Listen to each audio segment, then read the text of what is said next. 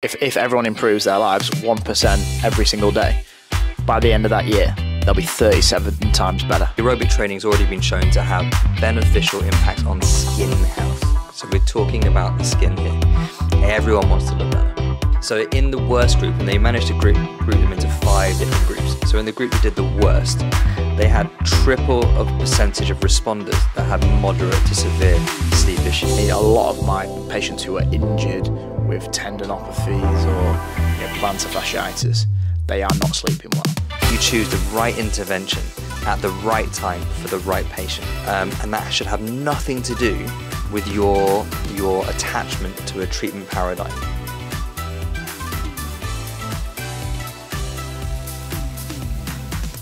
Welcome to the Ultimate in Health Conversations, where we look to discuss, consider, and potentially find the humour in our quest as healthcare professionals to optimise performance. That is sports performance, psychological performance, emotional performance, and just performance in general. We hope to learn from you, to share with you, and create powerful high performance lives. I'm Matt Winter, Doctor of Physical Therapy with extra training in functional medicine, and I'm here with Paul Macaulay, Senior Podiatrist, otherwise known on TikTok as the legendary Paul the Podiatrist. How you doing, Paul? I'm very well. Thanks for the lovely intro there. I've been very excited for this podcast. Literally last night, I could not sleep in excitement for today's podcast. Awesome. What we got coming up today, Paul? So today we've got some really exciting stuff. We're going to be discussing the recent Cigna Vitality study and find out whether Singaporeans are really the most unhappy people in the world.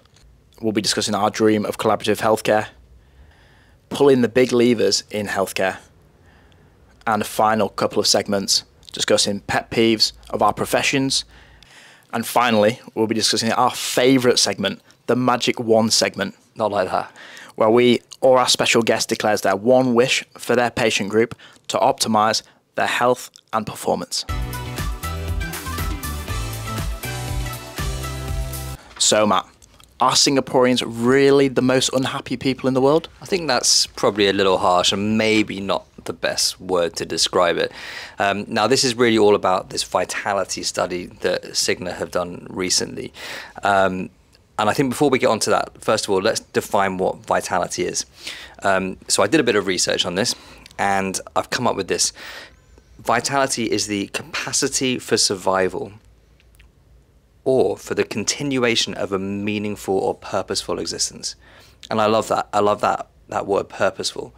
Um, I think if we look at the longevity research in general, purpose comes up quite a lot. Um, that that reason for someone to do another day to, to do another week or a month, especially when things in their life might feel otherwise difficult. Um, so I really like that. Um, now I, I, printed out this study. It's super interesting. Uh, here's one I made earlier. Nice. Um, and I'm going to go through some of these facts with you and, see if they sort of resonate with you um, as a clinician. Um, so um, a few hard-hitting ones. how many percentage of people in Singapore do you think look forward to each new day? I would say maybe like seventy percent. Ooh, that's optimistic. Um, it's actually thirty-two percent. That is really shocking for me. I I can't believe it because, like I've discussed before with you, you know, we both really love living here in Singapore. We both enjoy our lives and enjoy our jobs, um, and we work in a very positive environment, and everyone seems to be, you know, enjoying themselves. It's clearly not not the case across the board. Well, I, actually, I I did have a quick look at this study bef- beforehand, um, and I did ask some of my colleagues how what percentage they felt like would be um, not look forward to the next day, and their guesses as Singaporeans that have lived here all their lives, they were guessing 20, 30 percent. So so obviously they see it more than we do, because I, I tend to see a, a more expat um, patient group and maybe 20% local Singaporeans. And those people have chosen to move to Singapore. Okay, so they have chosen that, and then also, you know, potentially they travel quite a lot out of the country, um, so they see see Asia where it's somewhere different to where they grew were brought up, but the actual locals themselves were less happy That's so interesting. I think you nailed it right in that answer where you said that the expats, people that often we're surrounded by, are here for a reason, and that comes exactly back to that definition of vitality as having a purpose. So it's perfect, really. Yeah. Um, But I suppose when you do talk to that that expat person who hasn't chosen to come and who potentially is away from their family, so say like if we're talking about the the sort of maybe potential wives who are on D or, or, or husbands, the, the, the spouses, who are right? on the DP passes and potentially not working, looking after the kids, a long way away from family and help. Those people are potentially in that that percentage who don't look forward to the next day. And I think I certainly see that here. And and and really interestingly, a lot of the uh, I hate this term trailing spouses, but a lot of these spouses that came with their partner that got the job here um, were very involved professionally in their prior life. They were um, potentially held high positions, and now suddenly they feel like they've lost that purpose, that meaning. Yeah, I think it's a really, really valid um, observation. Um, maybe, maybe one of the other reasons is the the fe- these feelings of safety, and this is the next next fact, was um, I know places I can always go in which I feel safe and well. The percentage of people that felt that way, 38%. Surprising? I think very surprising because one thing you hear all the time is Singapore so safe as a place. From that fact, you think, oh, Singapore is is a very safe place. So how can it be? I think there's a difference clearly between um, physical safety, which is very, very apparent here, and then psychological safety.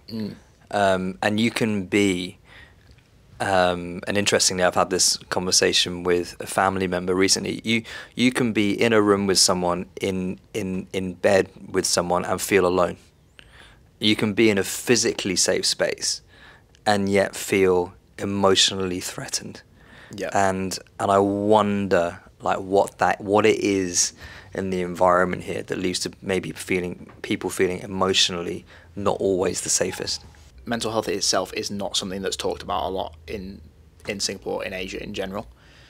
As maybe in the Western world, we talk about it a lot more, and there's a lot more campaigns to get people to talk about their emotions and things like that. Yeah, I mean, I think, and, and, and even more so amongst men. I think um, I do something with uh, my best friend um, Adam. Now, you're getting close, by the way. Ah. So, but you're you're second. But you, do you know what I mean? So anyway, but whenever I speak to him, I say, um, or we say, "What are you out of 10? And that's not how we're looking, although we discuss that too. But it's our emotional health. So, what are you out of 10 is your mental well being.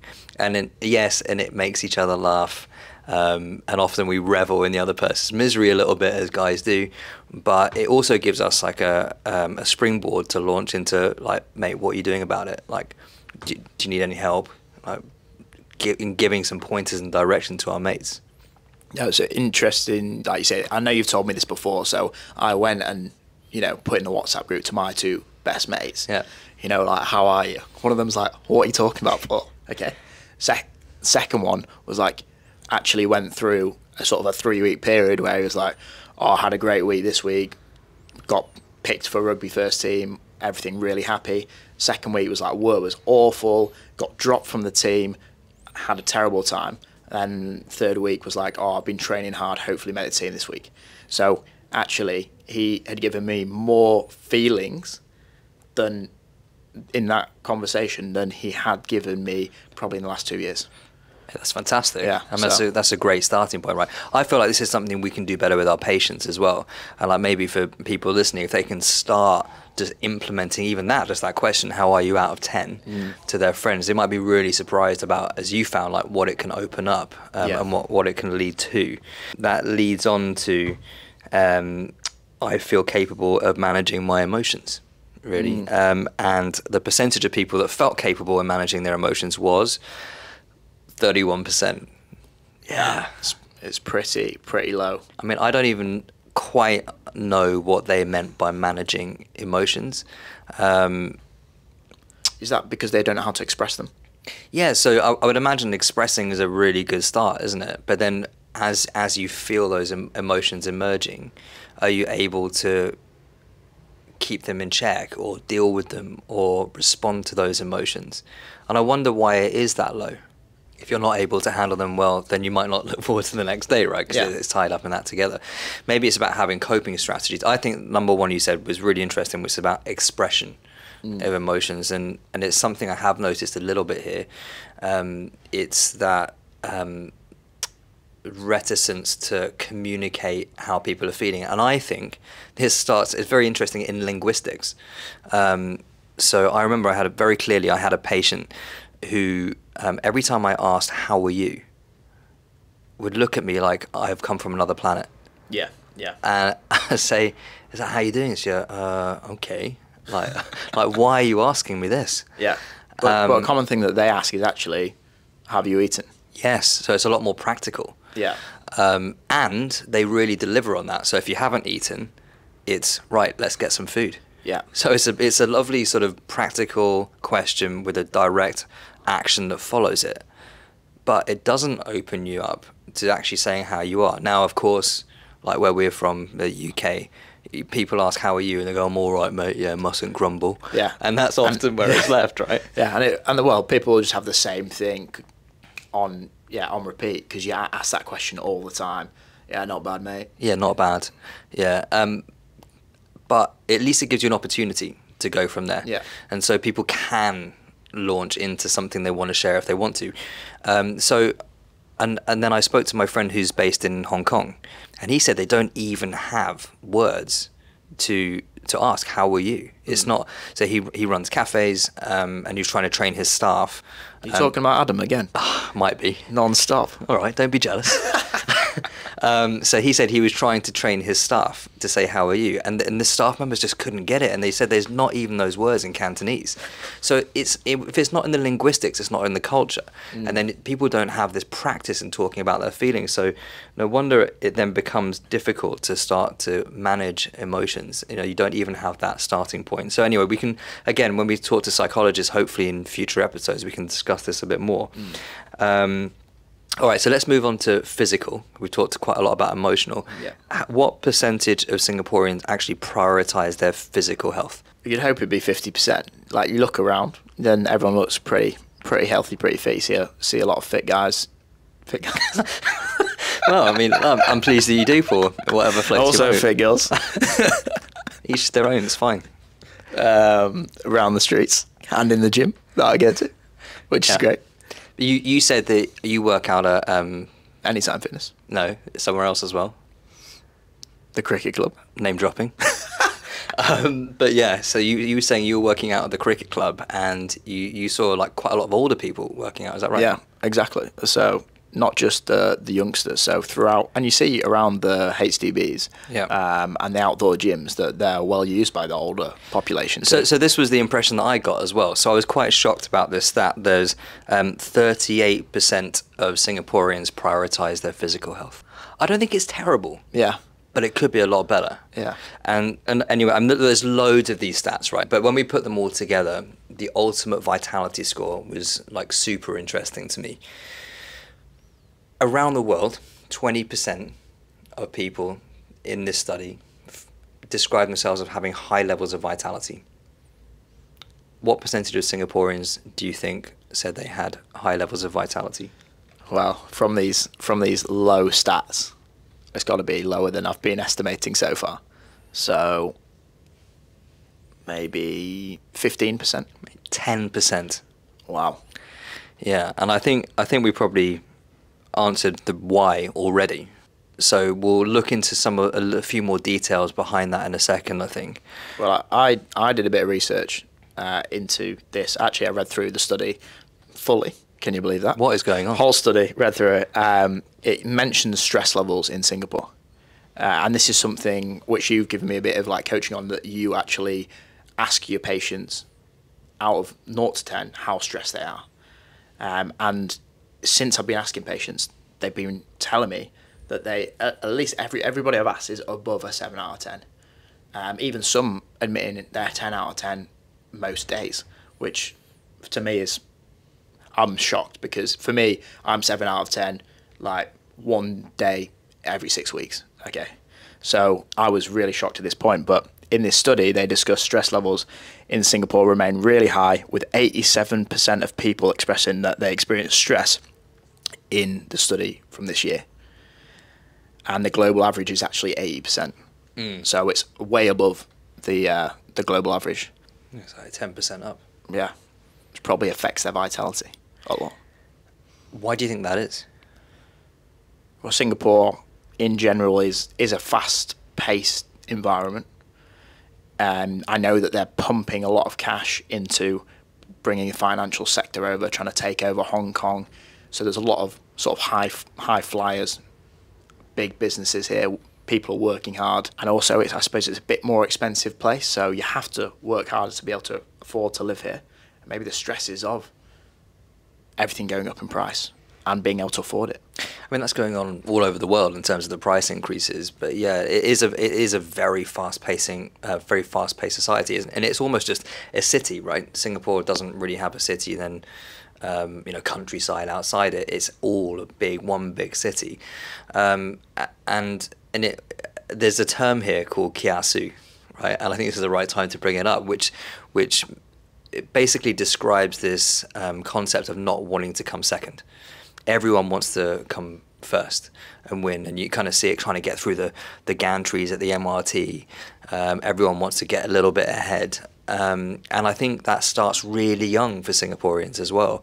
Um, at school, there's so much competition. Every kid is doing um, uh, what they call enrichment classes outside, which I'm not sure how enriching they are because they're certainly just studying with their head in a book, which is really sad for me. Not not potentially developing other skill sets, yeah. um, communication, expression. Yeah, it's very very different to how our week. Often it happens on the weekends. Very different from from us Westerners who usually it'll be sports on the weekends or even like uh, dramatics and things like that. That's a word. Yeah, dramatics and, and exploring play. Mm. And I think there's loads of evidence that you know kids really benefit from play and what that does to their brain. Having said that, we don't get it right where we're from either, and education is really suffering. But there's certainly a balance to be had. Um, really interesting stuff. Do you think it affects our patient groups that we see? Yeah, well, it, it definitely does. Um, maybe we could be better at trying to ascertain that from our patients because, like you say, if we're talking about Singaporeans and we talk that they don't really ask how how are you, they're not used to answering that question. So when you ask it, you don't really get a really honest um, response, or they don't think about it too much because they're shocked you've even asked it. So yeah. we could look at how we can delve into that a bit bit better. So I think what some people don't always realize is that stress actually has a direct impact on the tissues as well. There was a really cool study done in 2005 on wound healing. He loves a study. He does. He does.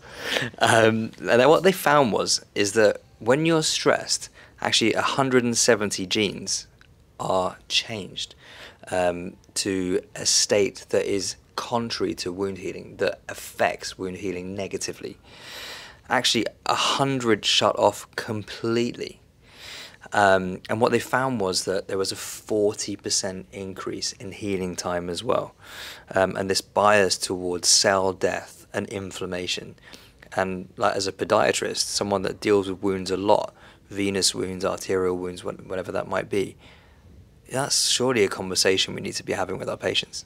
Yeah, actually, this study's you know very relevant, Matt. So thank you very much. So I will definitely be asking more patients about their stress levels uh, in regards if they do come in with a wound, as it's never something which I've directly considered.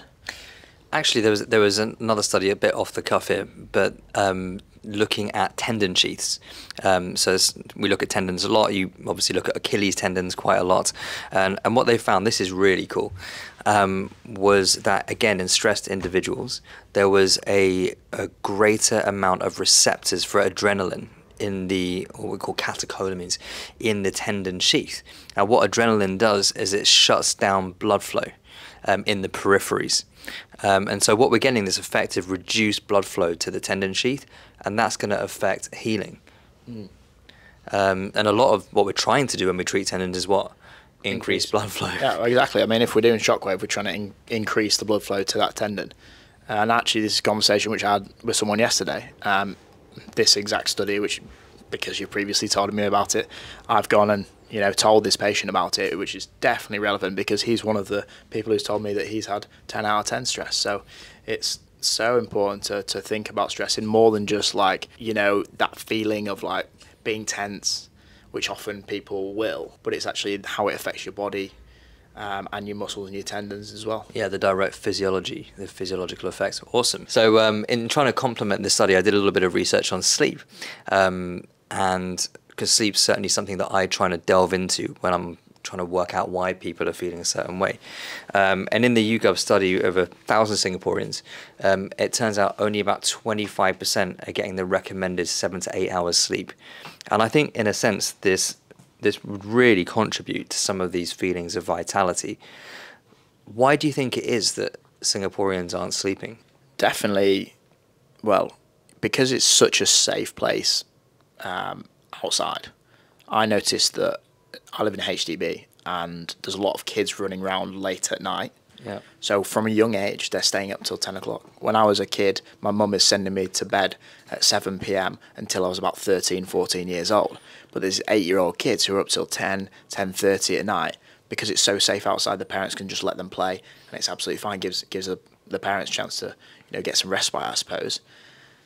And if you're doing that from a young age, then as you get older, you're only going to stay up later and later to give yourself more time to to do your things. Yeah. If you're not looking forward to the next day, you don't want to go to bed either, do you? Yeah, exactly. So yeah, so two points there. Like this feeling of safety actually conversely uh, having a negative effect on lifestyle. And it's like one of the things they do to create safety here is there's lights everywhere. It never gets dark. Maybe this is why kids are up. And I think we've discussed this before and you said in the UK once you get dark, you, want to you want to get out of there. Yeah. You yeah, get I- home. uh, Actually, I went back to the UK recently, November time, it's winter time, and I went to my friend's house in, in a village, and I, I was like, it's so dark. I can't see the road. I can't see anything. This is so weird because Singapore, no matter where you go, there's lights, and everything is lit up. The the um, sidewalks are lit up. You know, the food centres, malls, and it's just lit up all night long. Yeah, so there's this like ambient light, so your brain never gets the signal to go to sleep. You're never gonna get that darkness is what triggers the hormonal changes, gets that melatonin going, so we actually go to sleep. There's loads of podcasts to talk about sunlight in the morning, but darkness at night is so important as well. I think the other thing with sleep is it really affects behavior. Um, it affects decisions that we make. Um, affects our mood. Um, is that is that something that, that you found with your patient group as well? I would say that now that I'm being more of a general pra- practitioner, general practitioner of podiatry, it's something that I'm asking more about, finding out, and I'm finding out that people sleep a, a lot less than I do. Um, I'm not the peak of physical health, but You're not bad. um, not bad. cheers, mate. But it's um, definitely a lot of my patients who are injured with tendinopathies or you know plantar fasciitis, they are not sleeping well. Um, so there's a clear link. But I, you know, I don't see those healthy people because why would they be coming to see me? Yeah, so it's almost like a very it's a very select bias, right? Um, the interesting thing, much like stress, um, lack of sleep has been linked with poor uh, tissue healing as well, and then probably the um, the effects of lack of sleep. So the way that people use stimulants, um, such as say smoking, for example, um, caffeine. Although caffeine can actually be quite beneficial, but if we talk about um, uh, smoking, that then affects tissue healing as well. Um, and in terms of pain itself, and there's been a, there was another study with this. Here we go again. yes, um, where they found that poor sleep predicts pain onset months in advance, and return to good sleep predicts reductions in pain. Um, so there's this sort of bi-directional. Is that the right word? Yes. No, it's not. No, it's not. I, I just went with confidence. I thought it was okay. Yeah, well, hopefully no one will notice. um, but um, there's there's an effect both in predicting improvements and in predicting um, problems with regards to pain. So really interesting. Something we certainly need to be talking about more with our patients. Have you got any tips for sleep? Yeah, there's there's loads of tips for sleep actually, um, and I think we'll go over it a little bit more in our next episode on pain. Um, but I wanted to mention one, um, which is really simple, and it's just to keep your bedroom for sleep only and sex. And the reason for that is actually really interesting, and there, there really was a study on this as well, um, which was looking at insomniacs, um, and they what they did is they asked the insomniacs to, so when they couldn't sleep was to move out of their bedroom. Um, go and do something else, sit on the sofa outside, and only return to the bedroom when they felt sleepy. And, and what happened was over time, the brain started to associate the bedroom with feeling sleepy. And the, as James Clear talks about in the book Atomic Habits, um, it's the context forms the cue and you get this cueing that oh I'm in my bedroom now I feel should feel sleepy and therefore I go to sleep. Um, so I think that's a great tip for anyone. Um, you can't get to sleep, get up, move out, and don't work in your bedroom because then your brain sees that context and the cue is oh I should be working. I think the hard part for a lot of people would be saying, Matt, you know, my my office is in my bedroom because that's all I can afford. Um, what would you tip be for those people?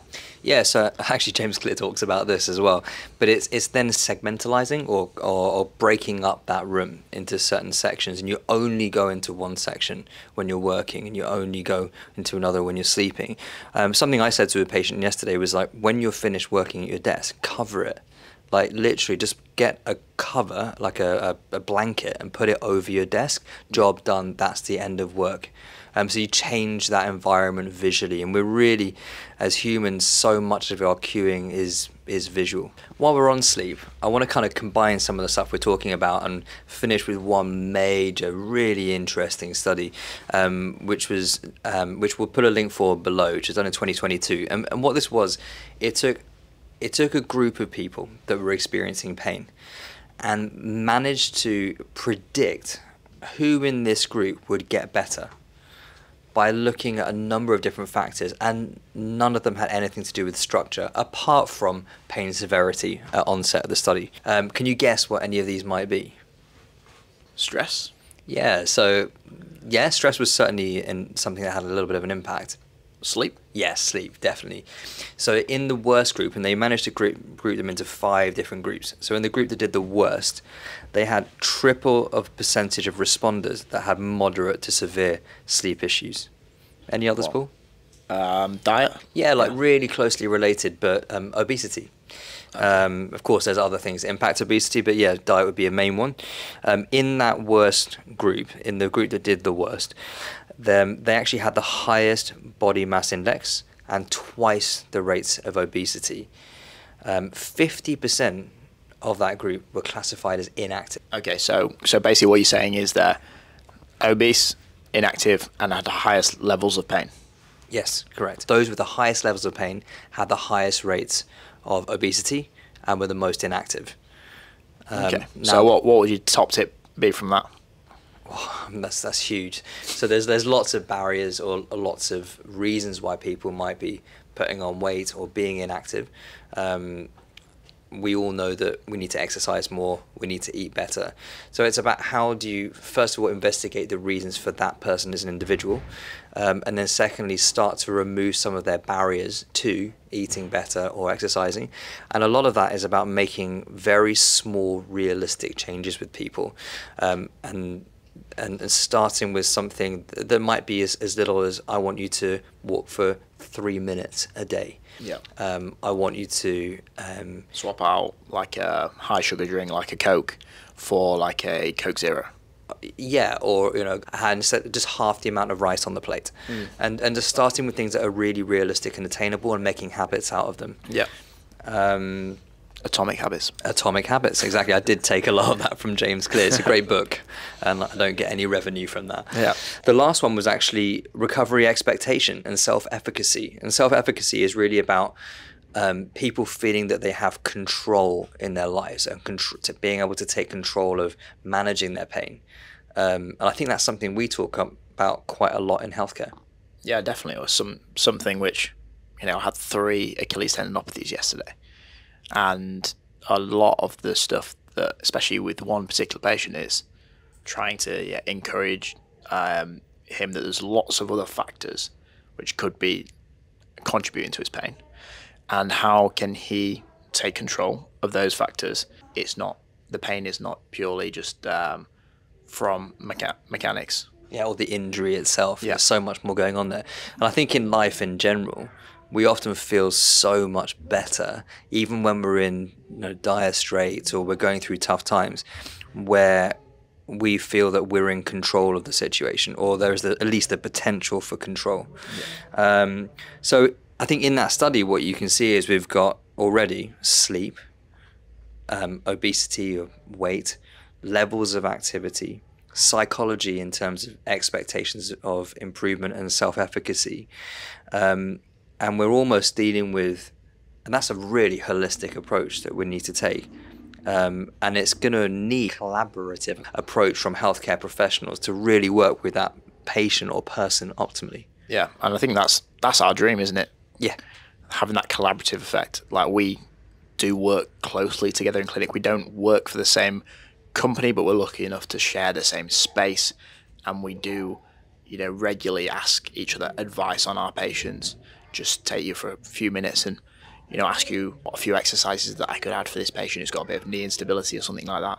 So for us, it's it's our dream. or just getting a second eye on the patient, right? And we all we all have slightly different training and background, um, and even if we had the same training, you know, you, you remember things at different times. You have different experiences as a healthcare practitioner that you can add.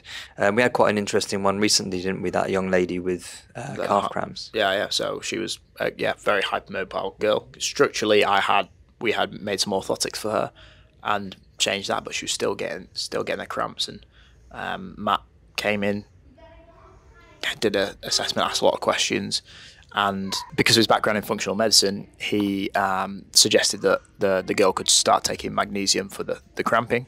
And I know actually personally that's helped me before, and she started taking it, and she's been much better since. She's able to do a taekwondo with no pain now, which is fantastic. Yeah, and I think this is just like one example. We do it a lot. We pop in and out of each other's consults quite a lot, and, and it's great because it shows the patient there's no ego, right? We're, we're willing to learn from each other to get someone better. And um, I just don't understand why this isn't done more often. Um, and very much in, I'm sure patients will have experienced this as well when you go and see a clinician. It's just that clinician, and they can often be quite protective of their own uh, specialty and, and resistant to opinions from outside clinicians, doctors, other practitioners. And I don't understand where that comes from, apart, well, apart from money. Um, because, you know, in the hospital where we both worked, we work in teams a lot. We round in teams.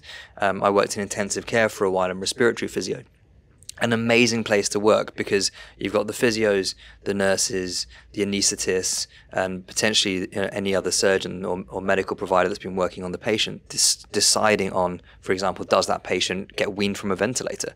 And that's how you get effective care. And if we can somehow bring that out into this environment, wow, patients are going to love it. We're going to get great results. Yeah, I agree. I'm I'm well up for it. Well, let's do it. All right. So we've we've talked about collaborative healthcare, and I think um, we've talked about some things other than structure that predict improvement in people and patients in performance. I think this leads us really nicely on to the pulling the big levers in healthcare. Um, do you reckon you ready for that, Paul? I am definitely ready for that. All right. I think we'll start this by you coming up with what you think the big pillars in healthcare are. So I think we've talked about one for most of this podcast. It's got to be sleep. Sleep's definitely there. How about uh, diet? Yeah, absolutely. Nutrition. Nutrition's a it's such a wide topic. Yep. Um, and I think it's not been typically spoken about a lot in physiotherapy, in my profession. Um, and I don't know about in podiatry. Is it? Is it? Do you learn much about it? Not not particularly, to be honest. Yeah. Because I, I mean, my degree is mainly focused on National Health Service um, stuff and mainly just diabetic wounds. Um, and so it would be something I would have taken on as time has gone on. Um, but mainly just learning it from you. Well, I like to provide. um, but um, like even in wounds, like simple things, increase protein intake. Yeah. Like vitamin C for collagen. Like, you know, just simple things um, in, in athletes um, who are getting injured a lot or um, have hormonal imbalances. Just getting enough calorie intake can be enough to make a big difference. Um, we don't have to be nutritionists to give very simple advice. Um, but we do need to know when we can refer out. Like, for example, um, neuropathies, so nerve issues, B vitamin deficiency is like huge in that, about magnesium. And then there are foods that are pro inflammatory and pro, foods that are anti inflammatory. Um, and of course, as people make the uh, I say wrong, but un, slightly more unhelpful dietary choices, there is a higher risk of obesity. And then we know obesity not just causes uh, increased load mm. in on joints, but also is um, fat is pro-inflammatory again. Yeah. So like it's it's almost um, irresponsible of us as healthcare professionals to not consider nutrition as part of the picture, and, th- and that is where the literature is going. Yeah, and it's uh, well, it's important to have that conversation with your patients, but it can be quite a tough conversation to have as well. Yeah, how do you how do you go about attacking that or having that conversation with a patient? So, well, often I'll ask um, whether they have lost any weight in the last six months or gained any weight in the last six months, just to see sort of like where they're at and what their view is on them. Um, some some people might be like, oh yeah, I think I, you know, I've put on since COVID six or seven kilos. I really need to lose it. Um, and then it opens up the opportunity for a conversation to say, oh, okay, how how can you do that? What does your diet currently look like? Are there some small changes that can be made? Yeah, that's great. I love what you said there about um, asking whether they put on or lost weight. Um, because it, it's it's so much less judgmental, and you don't know where someone's baseline was anyway. So it could have gone either way. And weight gains and weight loss, uh, particularly weight loss, can be a real red flag medically. So we've got to be asking those questions. Yeah, I love that approach. Um, so we've done nutrition, um, we've done sleep. Um, any others that you can think of? So drinking. Yeah, so so yeah, drinking. Yeah, um, drinking is part of uh, substances. Alcohol. alcohol. Yeah, alcohol. Yeah, not so, water. Yeah, orange juice. um, but um, yeah, so drinking is part of substances. So in that we've got um, alcohol um, and smoking and any other sort of uh, drugs. Um, and smoking's huge, right? Smoking, we talked about it briefly, affects uh, wound healing. Yeah. But it really is like a predictive factor in almost everything that can go wrong in the body. So, yeah, that's that's one. Um, I'm not sure. Tell me, tell me more, Matt. Tell me more. so we've got um, stress management. Um, we've we've touched on that quite a lot today. Um, social connection.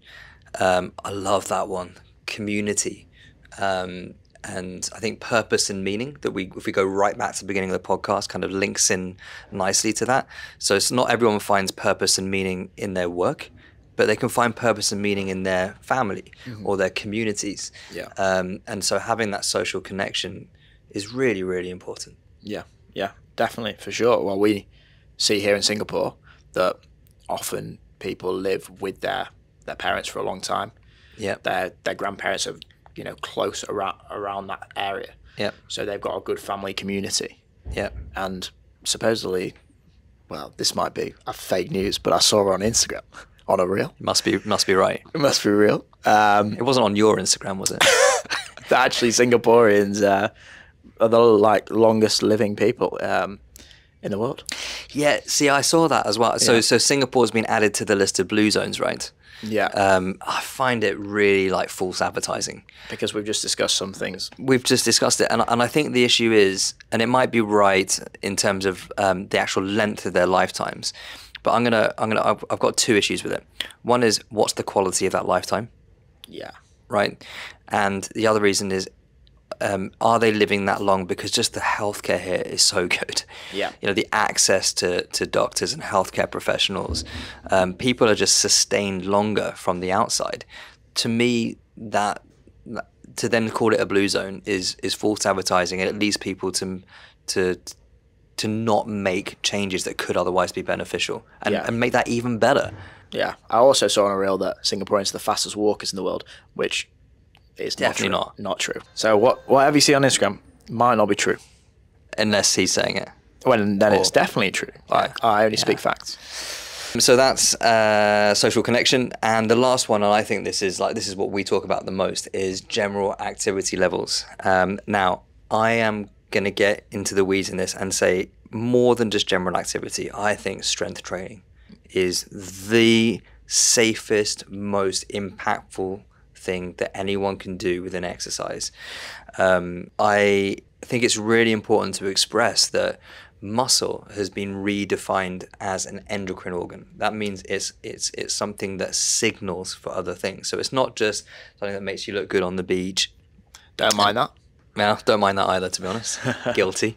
Um, and and it gives us that structural support, but it's actually sending out messages. Mm. So when we exercise things like interleukins, interleukin 15 is the main the main one, sending out. Oh yeah, oh yeah, that one. Your favorite, right? Oh yeah, interleukin. Yeah, yeah, yeah. Luke, my, Luke, good old Luke, good old Luke, um, sending out messages for things like like um, maintaining bone mineral density, um, or hormonal balances, reducing inflammatory environments.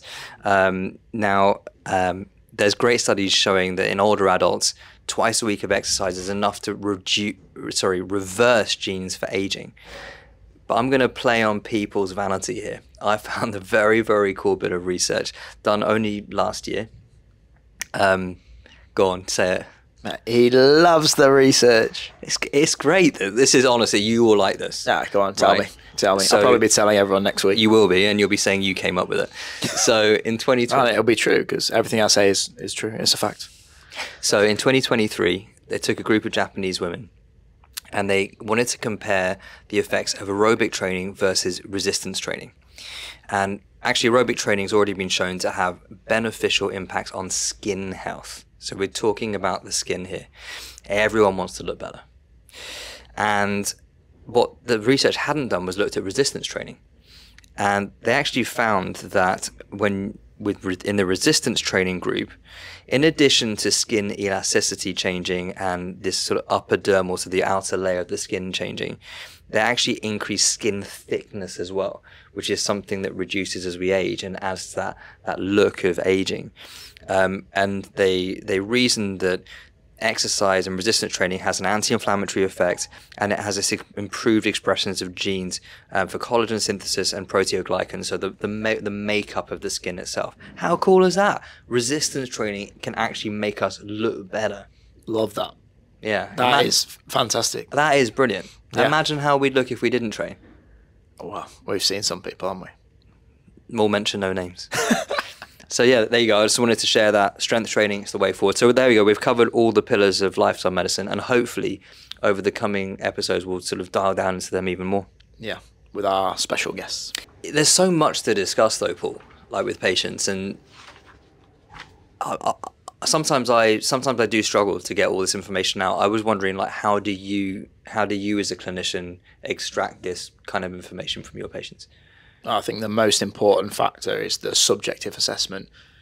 So, which for some people may not know, it's just when we're asking our patients questions about their condition, about their lives, about their, you know, their sort of habits and the patterns they have in life to try and work out, you know, and get an understanding of like how have how they got injured and what factors could be affecting their pain um, and how and how we can make their or make changes to their lifestyle that can improve their pain.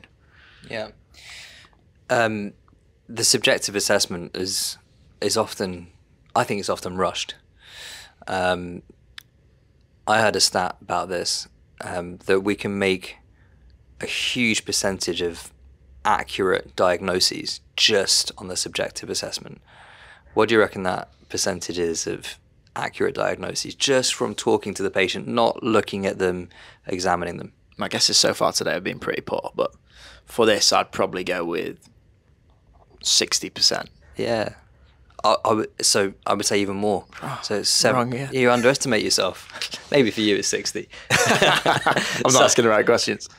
So it's uh, yeah seventy, and I've heard even up to ninety. Um, so just just by hearing that patient narrative, um, can I tell a story about a lecturer I had? Come on. All right. Tell us about Anne. How do you know it was Anne? I've heard it You're before. Oh, I must be so boring.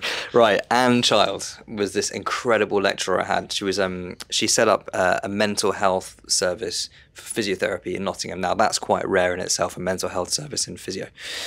Um, and she said something which I've never forgotten. She said that if you just let the patient tell their story, she said the word story, they will give you all the answers you need.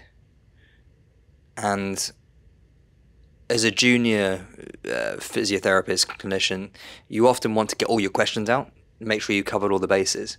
But as you get a little bit more confident, you can really sit back and let that patient talk and extract the information you need. Um, and it's amazing how many of them will give you the answers you're looking for. Yeah. Sometimes it's really important to sit back and let them talk because they can be nervous. Yeah, it might be the first time you've met them. They don't know you, um, and they might be scared to tell you all these things about themselves and about their lives.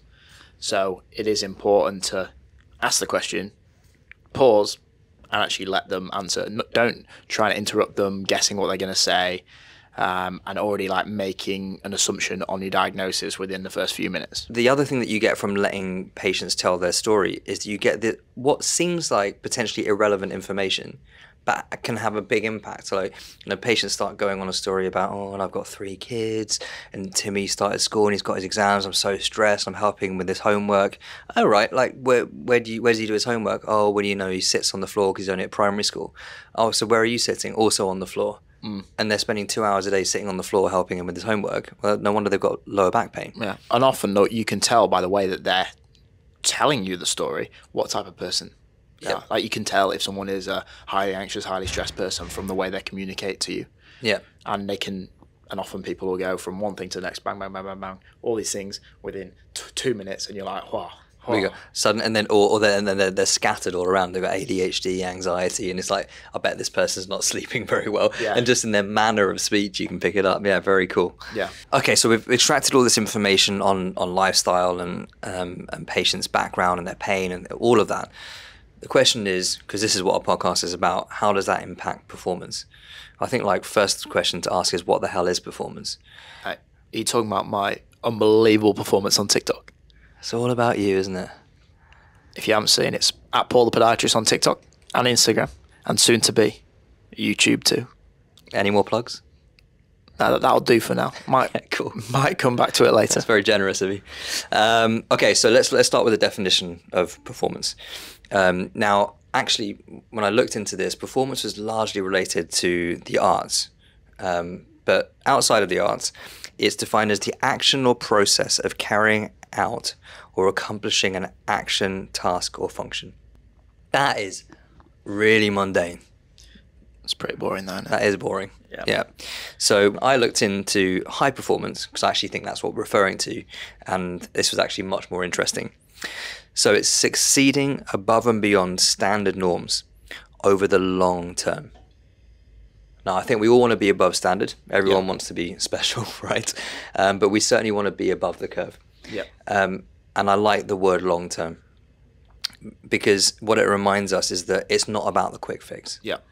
Um, it's not just about. Oh, I love a quick fix as well. I love a manip. Yeah. Love a bit of dry needling. Yeah. Um, everyone loves that, but it's about how we encourage patients to make changes that affect yeah. their life long term. Exactly, and we uh, ultimately we want to get them better, and we in the best possible way we don't want to see them again because we want them to live a better life and not hopefully not get injured again. Yeah, and and by fitter, stronger, yeah, performing to a higher level.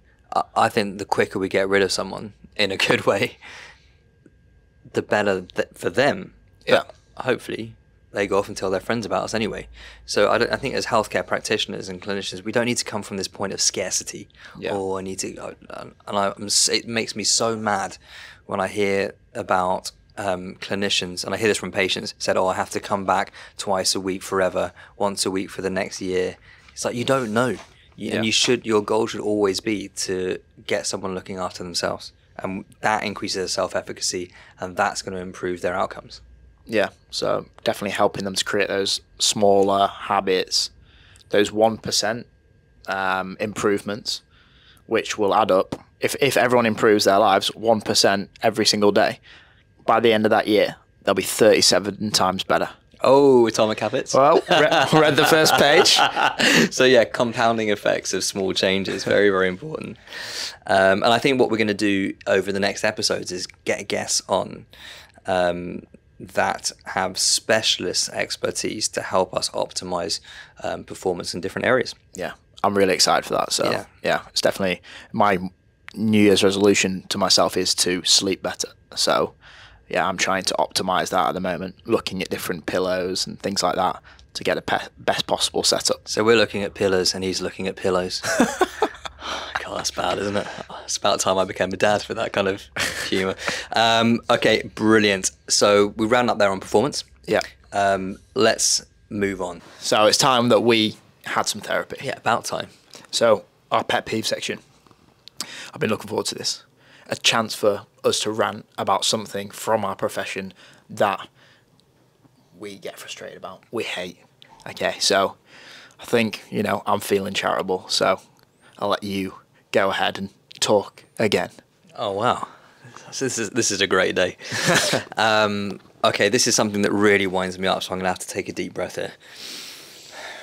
Um, it's physios that say they are exercise based or manual therapy based or something based. You're not, or you shouldn't be.